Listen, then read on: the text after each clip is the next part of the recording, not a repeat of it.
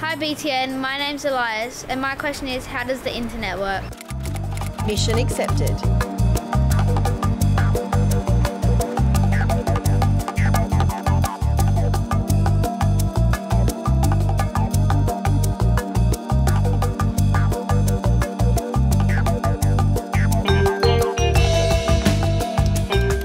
It's our go to for top secret answers.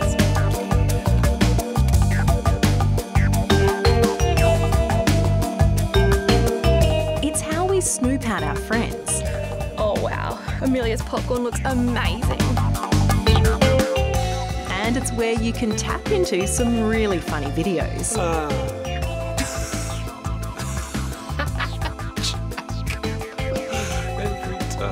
And we can access this stuff pretty much anywhere at any time. It's the internet. But it's come a long way from where it started. The internet can be traced back to the 1960s in the US. It started as a network of just four computers that were running on different operating systems which could share information. Local universities and government departments linked into that network, and other countries joined it too, turning it into a massive international network and giving it the name we use today. But the guy who helped the internet really take off was Tim Berners-Lee. In 1989, he created a system used for sharing information on the internet, which he named the World Wide Web.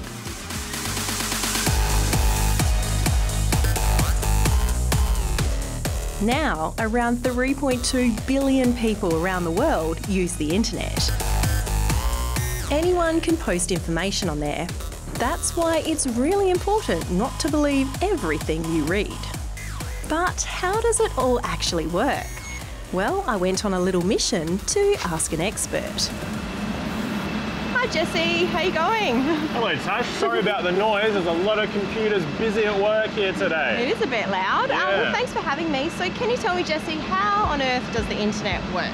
Yeah, well, look, there, there are millions of computers and servers just like this that connect us all around the world, okay? And they're connected by these, these very large cables. But believe it or not, most of these cables that connect these together are actually under the sea. These cables are about as thick as a can of soft drink. They're buried in shallow areas of the ocean or found in water up to 8,000 metres deep. They carry fibre optic cables that allow internet data to travel from one place to another really quickly.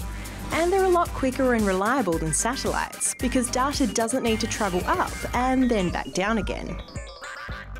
The internet wouldn't be possible without these cables, so people and even sharks have tried to damage them in the past. What if I wanted to send a picture to, say, a friend overseas? How does that all work? Yeah, good question. So, look, think of every computer and every website. It, it has what's called an IP address, which is like a street address. Okay, so if you want to send a, a picture to a friend of yours overseas, if we imagine for a moment that that picture is like a puzzle and it has hundreds of tiny puzzle pieces connected to it, okay? And what, what we do is when we send that picture, these little pieces, they get sent one by one and they have pieces of information on them that tell us where we want to send that picture to. Okay, and once that picture reaches its destination, it stitches itself back up and you get to see the picture on the other end. That's pretty amazing. Yeah, Well, thanks for teaching me a bit more about the internet. no worries. So I think I've accomplished my mission. That's a wrap.